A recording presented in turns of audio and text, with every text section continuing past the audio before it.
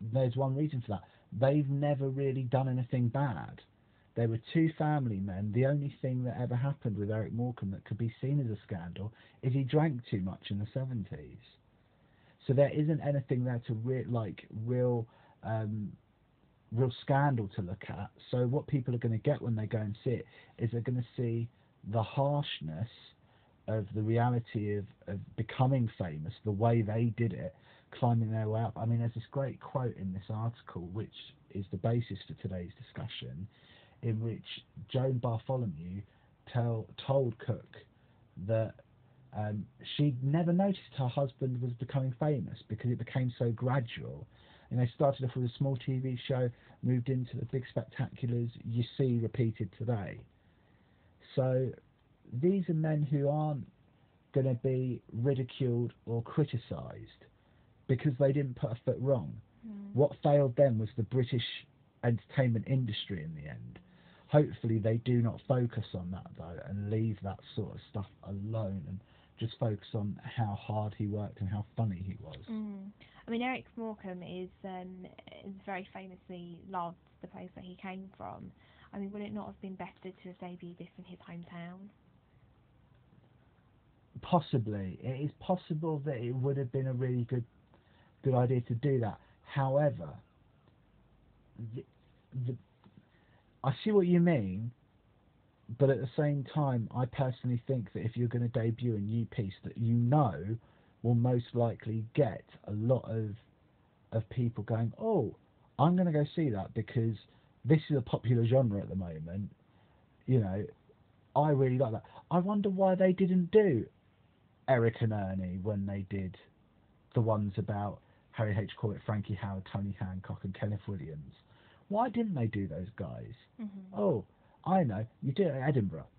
If you want to make a splash nowadays in theatre with a new piece and you want it to go to the West End, you're going to debut it at, um, at Edinburgh. That's not to say that they shouldn't do it at, at Eric's hometown. They should definitely do a performance there.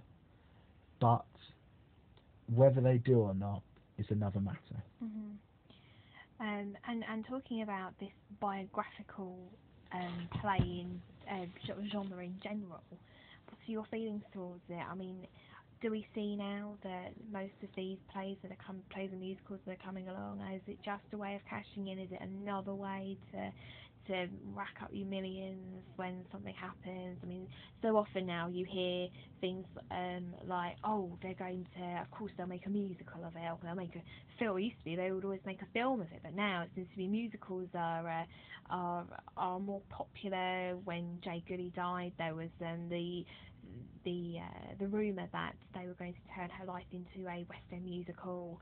We have Michael Jackson's Thriller Live on at the moment, um, and we've had many um, band uh, biographical pieces on. At the moment, we have Jersey Boys um, about the Four Seasons. We had um, um, who else did we have? Well, you've got obviously the most famous one of all is Mamma Mia by ABBA. Yeah, but it's not about them. At the same time, I don't think there are many out there that are, I, I understand what you're saying. It's becoming a, a situation where Well, some of the longest running uh, musicals are biographical. Buddy Holly, Hot Um, Buddy, yeah, Buddy is very popular. Yes. um, and we have many like that. Some of them have failed. Some of them have gone on to be great successes. But it's now become a, a, a form of um, almost like a rite of passage for some celebrities. I don't totally agree with the idea of doing musicals that are biographical. But you must agree that there is that is now Oh, there's a trend. yeah, it is a trend, and the reason why it's a trend is because, um, well, because people will not get up and go and see a piece of original music being played in a theatre, an original musical. They just won't do it. The normal people who go and sit bums in seats won't go and see something, a musical, unless it's got massive amounts of money behind it, which is why so many things get transferred from Broadway. So, what do you do to get the general public in England to come and see a show? Do it based around pop music. But biographical plays are nothing new. No, biographical plays are nothing new, no. And that's another thing. This is this is possibly the oldest form of cashing in on a celebrity is by writing a play about them. Um, Shakespeare did it. Shakespeare did it, did it many times. Always about lots and lots of plays about old kings and old emperors, uh, Antony and Cleopatra, um, Julius Caesar, Julius Henry Caesar, V, Henry V, Richard the Richard Third. III. I mean, there's so many autobiographical, well, biographical uh, plays out there, and it is. I don't know if it's a rite of passage at the moment. I think it's just people. For example, Jade Goody. I think people just saw it as that is a logical step at the moment. Is to But why is it? because they know how how because of TV programs like um, How to solve a oh um, how like how do you solve a problem like Maria oh or, um, um, um yeah the other one finding Lloyd Webber's Nancy. yeah finding Andrew Lloyd Webber's Nancy have shown that have increased ticket sales in the West End Yes. and other things such other factors such as the popularity of High School Musical and um, the eventual film of the musical of Hairspray has made it popular to go and see a musical now. Yeah, but all those musicals were originals. Yes, they were, but at the same time, there is an interest in going to see. And then you find that oh, people want to cash in on Jade Goody's life. People want to hear more about her life. So this is a cashing in Yeah, exercise. it's a cashing in exercise for, for someone like Jade Goody. But how good is this for the arts scene? How good is this for the theatre industry in general? That theatre is now being dictated to by the people, by by popular demand. Well, this is this is always the argument: is should theatre be for the public and their demand for what entertainment they want, or should it be pushing as art? But surely the theatre is agreeing to have these pieces put on Of course it is. because they know that people that they're going to make money out of them. Exactly. I mean, it would it would be stupid if they didn't put these pieces on that would make them money because But then where does that leave our art scene? it leaves our art scene in in a situation where you are more likely to see a genuine piece of theatre that is pushing the boundaries in a smaller theatre that isn't being seen by hundreds of thousands of people nationwide because the the script won't end up on TV. It won't be toured around the UK. It will only have a limited run. But is this ethical?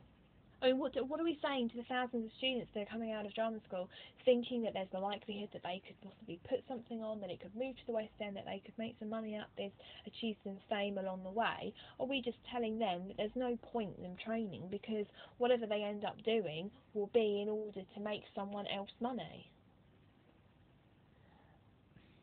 Again, It makes the theatre industry seem very, very fickle. It is very, very fickle.